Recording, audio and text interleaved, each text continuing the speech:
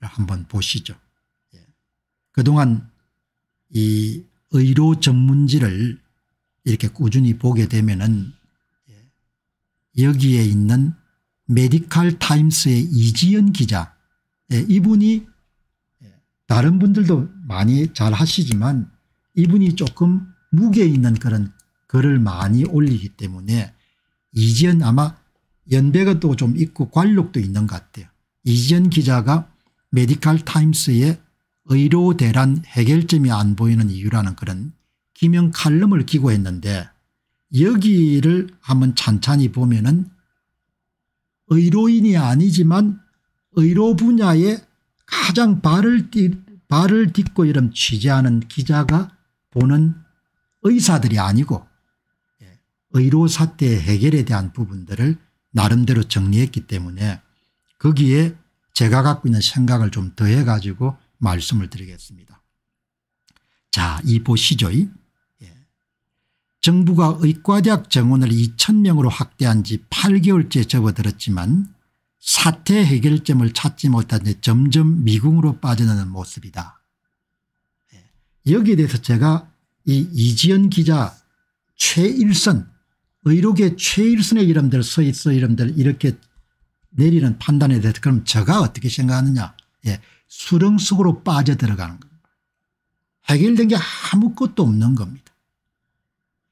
해결된 게 아무것도 없는 그 상태에서 수렁 속으로 빠져들어가는 겁니다. 그게 여러분들 이지연 기자가 내린 진단과 전망에 대해서 제가 갖고 있는 생각입니다. 정부는 물론이고 의료계 단체에서도 이번 사태를 해결할 수 있는 역량을 찾아보기 힘들다는 점에서 과연 의료 대란 사태가 수습될 것인가 하는 의문이 깊어지고 있다. 예. 제가 동의하는 겁니다. 예. 이거는 해결되기가 쉽지가 않을 것 같다는 거죠. 예. 쉽지가 않을 것 같다는 대통령이 바뀌면 여러분 그때 모르겠는데 그전에는 해결되기가 어려울 것 같다는 생각입니다. 그 이지연 기자의 이런 문제의식에 대해서 진단에 대해서 제가 동의를 하는 겁니다. 제 이야기만 드리기보다도 의료계에서 가장 여러분들 활발하게 뛰는 기자들이 어떻게 보고 있냐 이야기죠. 자, 전공의 의대생들 젊은 의사 조직이 탄탄한 것이 아닌데 예, 2020년 의료계 총파업 당시만 하더라도 전공의 협의회와 의대협의라는 조직을 필두로 국회 혹은 정부와 직접 만나 대화를 나누고 타협점을 찾았습니다. 하지만 2020년 의료계 총파업 이후에 전공의 의대생 조직이 빠르게 와해되고 조직력을 잃어가면서 2024년 현재 젊은 의사를 대표하는 조직이 사실상 없는 상태입니다. 정부가 협상을 할 수가 없는 겁니다. 예. 문제를 해결하려면 협상을 해야 되는데 협상 대상이 없는 겁니다. 예. 의사협회는 전혀 관련이 없는 잔치인 겁니다. 의료계니까. 예. 젊은 의사들의 문제인데 젊은 의사들이 구심점이라는 게 전혀 없는 겁니다. 거기다 젊은 의사분들이 지금 젊은 세대들과 마찬가지로 대단히 개인주의적 관점과 태도를 갖고 있기 때문에 예, 각자가 알아가지는 판단하고 처신하는 겁니다. 정부로는 더더욱 어려운 겁니다. 젊은 의사들 단체가 있으면 그 사람들을 어떻게든 설득을 할 수 있는데 뭐 설득이 안, 안 되겠죠. 왜? 정부가 일체 여러분들 정원에 대해서 협상할 의지가 없기 때문에. 전공의들의 5, 7대 요구 의대생들의 9대 요구는 이미 2월 달에 나왔지 않습니까 거기에서 가장 중요한 2025년도 의과대학 정원 문제에 대해서 한 발도 여러분들 정부가 타협할 의지가 없기 때문에 그냥 애시당초 문제가 해결될 가능성이 없는 겁니다.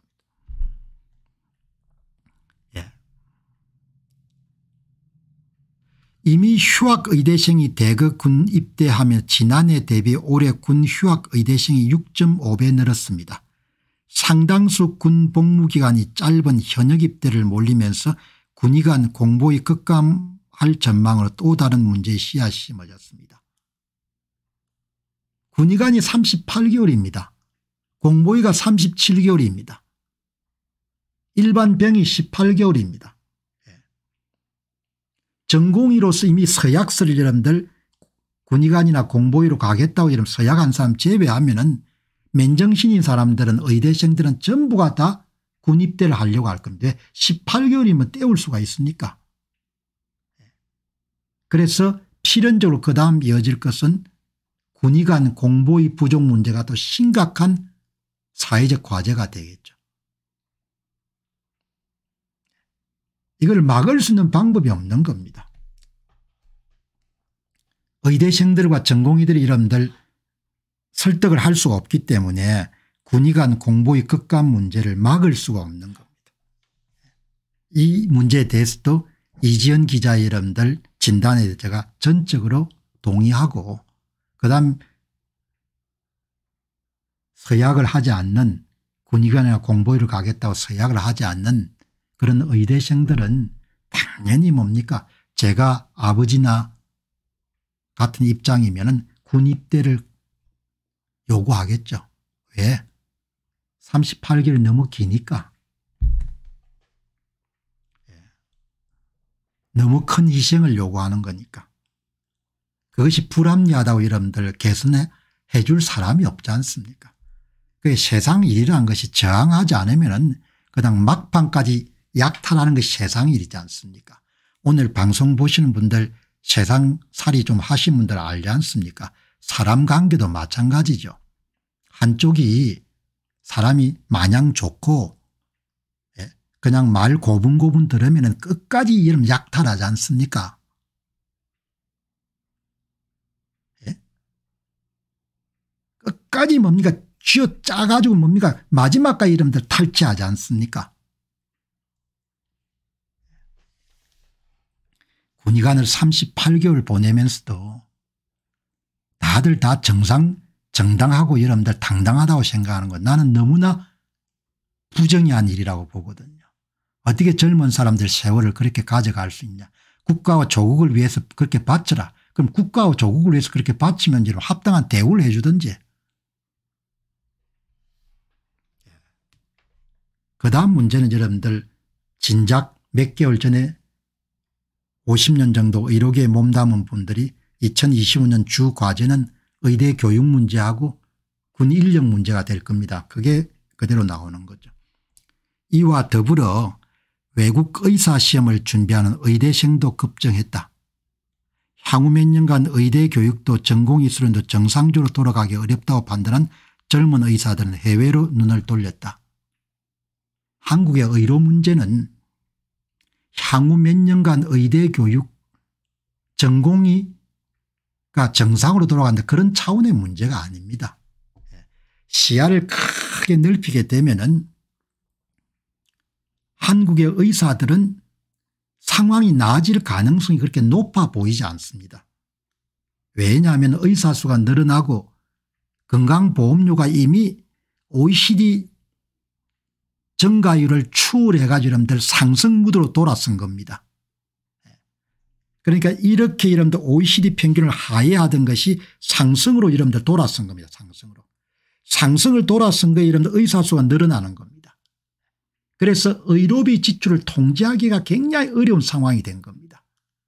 그렇다고 국민들에게 이런 더 많은 돈을 요구할 수 없는데 왜 국민들은 지금 이미 10년 터울로 따블로 여러분들 의료비를 지출하고 있기 때문에 실손보험까지 다 합치게 되면 은 두 배 정도가 늘어난 겁니다. 10년 터울로.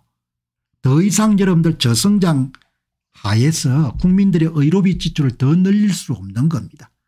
건강보험료를 올리겠다 이렇게 하면 표하고 바로 직결되기 때문에 정치인들이 선택할 수 없는 겁니다. 그래서 의사들을 향해서 수가를 더욱더 죄는 정책으로 나갈 수밖에 없는 겁니다. 그 젊은 의사들은 분명히 여러분들 내다봐야 되는 겁니다. 어차피 인생사라는 것은 기본적으로 투자든 직업이든 간에 본인이 선택하면 그게 책임을 지는 겁니다. 한국의 의료 상황은 비급여로 운영되지 않는 의료 분야는 점점 더 고사할 겁니다. 예. 점점 더 고사를 해가지고 왜 의사들은 표가 적고 대중은 표가 많기 때문에 의사를 점점 약탈한 쪽으로 가겠죠. 예. 그렇게 갈 수밖에 없는 겁니다. 그래서 사람이 식견을 가지고 통찰력을 가지고 앞을 내다보지 않으면 그럼 고생을 할 수밖에 없는 겁니다. 젊은 의사들은 그런 상황을 가정하고 본인의 진로 문제를 심각하게 고민을 해야 되는 겁니다. 향후 몇 년간 의대 교육도 전공의 수련도 정상적으로 돌아가기 어렵다고 판단한 젊은 의사들은 예, 영원히 안 돌아갈 겁니다.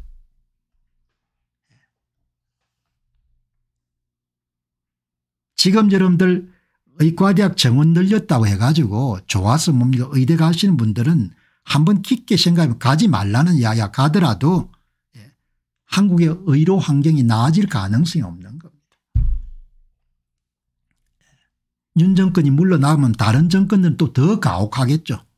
예, 그냥 의료계를 그냥 공공의료화할 그런 쪽으로 밀어붙일 테니 그 사람들이 좋아하는 게 뭡니까 영국식 이런 거 좋아하지 않습니까 공공의료 공짜의료 그래 가는 겁니다. 그 이런 부작용이 터지는 데 시간이 좀 걸리니까 그 사이에 해먹기는 좋지 않습니까 정치인이란 것은 30년 40년 생각 안 하지 않습니까 예. 구한말의 위정자들이 뭘 생각했습니까 조선 백성들의 30년 50년을 생각했으면 전혀 그렇지 않지 않습니까 예. 본인 일가의 호의호식을 위해서 지금 눈앞에 보이는 이게 몰입됐고 하나도 바뀐 게 없습니다 예. 사회가 하나도 바뀐 게 없는 겁니다. 그 틀 그대로 가는 겁니다. 자 정부의 필수 지역 의료 강화 일환으로 의대 정원 정책을 준했지만 지난 8개월간 응급실 축소 운영 환자 전원 불가 등 필수 주력 의료가 붕괴되는 현실에 고통받고 있다. 얼마든지 예상 가능한 사건이지 않습니까 관리들만 예상을 못한 거죠. 예. 원가를 보전하기 힘든 수가 구조를 갖고 있는데 그러면 여러분 뭡니까 그냥 의사직을 exit 나가버리든지 아니면 다른 데로 가는 거죠. 당연히 다른 데로 갈, 갈 수밖에 없지 않습니까 그래서 전공의들이 빠진 거고 의료정책을 하시는 분들이 하순 거죠. 예. 사업을 하는 사람들은 항상 그런 데 익숙하지 않습니까 내가 가격을 올리게 되면 은 소비자가 어떻게 반응할 건지 정책을 쓰는 사람들이 우리가 의사수를 늘리게 되면 은 젊은 의사들이 어떻게 반응할지 그게 소비자들이지 않습니까 정책의 소비자 예. 생각이 전혀 없었던 겁니다. 뭐 지금 와가지고 어떻게 해볼 도리가 없고 이제 수술을 못하는 건수나 이런 부분이 늘어나는 거죠. 예. 향후 현장에서 향후 5년 후 10년 후를 더 걱정한다. 향후 5년 후 10년 후가 문제가 아니고 앞으로 계속 갈 겁니다. 여러분 이 의료 사태 문제 보면은 저는 뭐가 오버랩 되는 거 지금 삼성전자가 오버랩이 되는 겁니다. 다 별도 사건이 아닌 겁니다.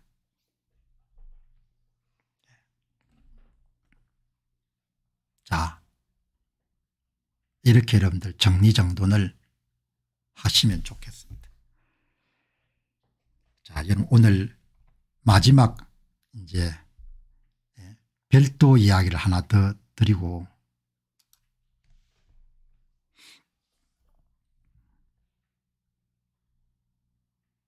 한국은 조선사회와 마찬가지로 문우이의 사인 겁니다. 문우이. 예. 조선도 기술자들이 엄청나게 천대를 받았지 않습니까 그 틀이 크게 바뀐 것 같지 않아요.